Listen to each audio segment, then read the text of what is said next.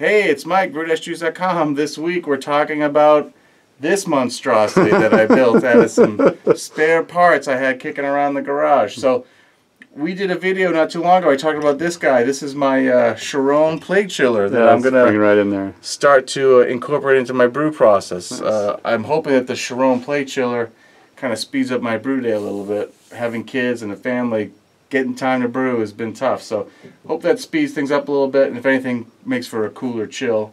And then you can build one of these things. So what I wanted to do is make a stand that'll house my pump, my March pump, and my wort chiller.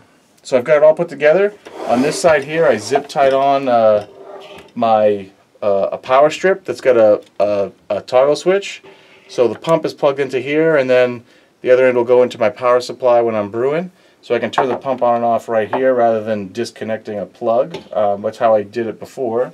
Um, I used to have my pump mounted on a on a wooden box, and then the wooden box would sit up on top of a uh, a milk crate, and I'd move it around. It was kind of a pain in the butt, um, but it worked just fine. But I always wanted to have some sort of a semi-permanent stand that I would have a plate chiller and the the uh, pump on. So the plan is that this would be facing my brew kettle. The kettle would come into here and run through the pump and run out, and then I would I'm just going to have a short run of tubing up to the wort in and the wort out.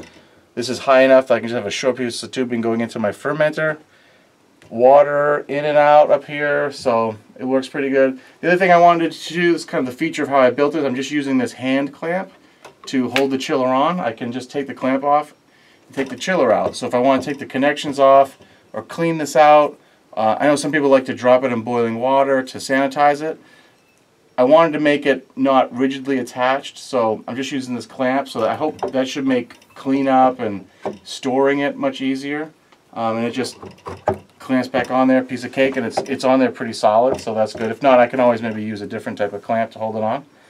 Um, but yeah, I'm getting really close to doing uh, my next brew session, but I'm really uh, my next plan is to I have some um, quick some disconnects I'm going to put on here. Uh, I've got the pipe thread ones for the wort, and I've got the garden ones for the water hoses.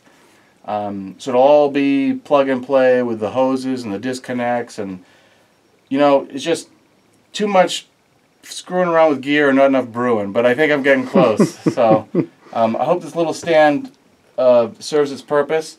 Um, I'm a little bit concerned that I've got this and hoses above the electrical pump. So if I have a leak or something, I might I need to find a way to shroud this, protect it from from drips. Uh, the other thing I realized too is that with my water coming in, I might actually turn the pump around the other side to face the brew kettle and have this kind of going out the back side. Um, just because the logistics of having all these hoses crisscrossing and stuff, it might make more sense if this was facing the brew kettle, that the chiller was away from the brew kettle. Uh, but we'll see. That's live and learn, kind of experiment with it and try and brew it. So, anyway, it's just simple 2x4s, some stock uh, 1x stuff, and some strapping, and drywall screws holding it all together. A little bit of glue here and there. But, oh well, we'll see what it looks like when I get brewing with it. I might put a handle on it up here so I can pick it up. Obviously, it won't sit on the table. This is intended to sit on the ground. So.